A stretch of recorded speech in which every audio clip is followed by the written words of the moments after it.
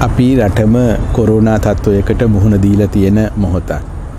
මේ වෙලාවේ බුදුහාමුදුරුවන්ගේ ඉගැන්වීමෙන් මේකට තියෙන උත්තරේ මොකක්ද කියලා ඇහුවොත් බොහෝ දෙනා හිතන්න පුළුවන් පිරිත් කියන එක පිරිත් නූල් බඳින එක පිරිත් පැන් ගංගාවල පා කරන එක නොෙක් පුද පූජා කරන එක තමයි බුදුහාමුදුරන්ගේ පණිවිඩයෙන් ලබා ගන්න පුළුවන් උත්තරේ කියලා. නැහැ. මේවා ඔක්කෝම සංස්කෘතිය විසින් ගොඩ්නංවන ලද උත්තර. ඕනෑම සමාජයක සංස්කෘතික වසයෙන් ගොඩනැගුණු උත්තර තියෙනවා. මෙය පැහැදිලිව අපි වෙන්කොට හඳුනා ගණ්ඩ ඕනි. බුදුහාමුදුරුවෝ තමන්ගේ පනිවිඩේ කියා දුන්නේ මනුෂ්‍ය වර්ගයාට. එතකොට මනුෂ්‍ය වර්ගයා යන මුළු ලෝකයේම වචන පොදු මනුෂ්‍ය වර්ගයා. මේ සියලු මිනිසුන්ට සංස්කෘතික වෙනසක් නැතිව භාවිතා කරන්න පුළුවන් බුදුහාරෝ ගෙනාපු උත්තරේමකක්ද. ඒ තමයි අප හැම ඉරියව්වක් පවත්වන මොහොතකදීම අවදි සිහියෙන් යුක්තව කටයුතු කිරීම. සතිපට්ඨාන සූත්‍රයේ මේක දිගහොඳට විස්තර වෙනවා.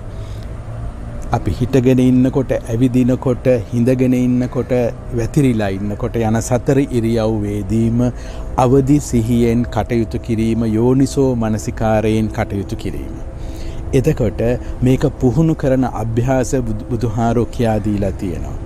එකක් තමයි හුස්ම ගැන අවධානයෙන් යුක්තව ආනාපාන සතිය වැඩීම.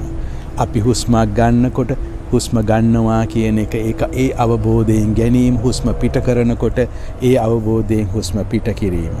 එතකොට අපි මේ හරහා පුහුණු කරනවා මේ මොහොතේ ජීවත්වීමට. කායානු පස්සනාවේදී අපි යමක් කායිකව කරන හැම්ම දෙයක් ගැනම අවදි සිහියෙන් සිටීම.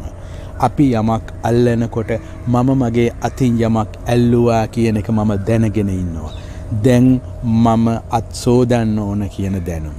මම යමක් ඇල්ලුවා දැම්මගේ අත මගේ මුහුණ වෙත යනවා මං මූුණ ඇල්ලුවොත් මේ අතේ තැවරුණු වෛරසය මට ඇතුළත් වෙන්න පුළුවන් කියන අවදිසිහිය. එක ඇන මං අත් සෝදන්න ඕන අතින් මුහුණ කට අල්ලන එකෙන් වලකින එක.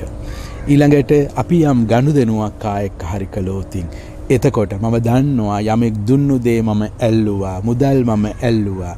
එතකොට වෛරසය එන්න පුළුවන් දැන් අවදිසිහියෙන්නම් ඉන්නේ අපට පුළුවන් එක පාලනය කරගන්න.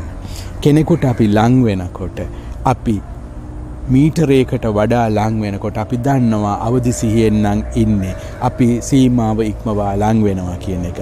අපි මොනදේ කතා කළත් සිද්ගන්නා සුළු විහිළු මොනවා කතා කළත් අවදි සිහිය අප තුළ තියෙනවා නම් අපි දන්නවා අපි සීමාව ඉක්මවා ලංගුණා කියන එක.